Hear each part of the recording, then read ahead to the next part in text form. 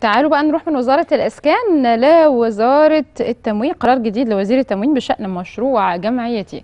قرر دكتور علي المصلحي إنشاء الوحدة المركزية لإدارة مشروع جمعيتي بوزارة التموين علشان يأكد على أهمية المشروع ده في المرحلة اللي جاية. وما أيضا يتبعه من مراحل فتح جديدة عقب الانتهاء من المرحلة الثانية حاليا.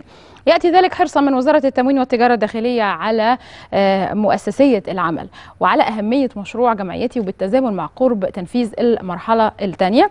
وأيضا في ظل تزايد عدد المنافذ بتوع المرحلة الأولى من مشروع جمعيتي اللي وصلوا إلى ما يقرب تقريبا ل 3000 منفذ ومستهدف فتح 2000 كمان 2000 منفذ ثانيين في المرحلة الثانية. وتزايد الإقبال على التقدم لهذا المشروع في ظل النجاحات اللي اتحققت بالفعل على أرض الواقع. عن طريق مشروع جمعيتي.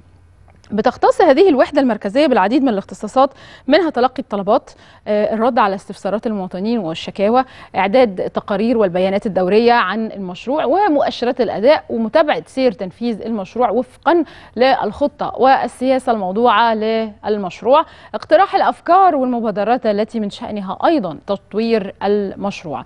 تتضمن تشكيل الوحدة اختيار رئيس للوحدة وعدد ثلاث أعضاء وكلهم من العاملين بوزارة التموين وبتخضع هذه الوحدة والعاملين بها للإشراف المباشر من معاون الوزير المختص بالمشروع والذي يقوم بدوره أيضا بعرض نتائج أعمالها على السيد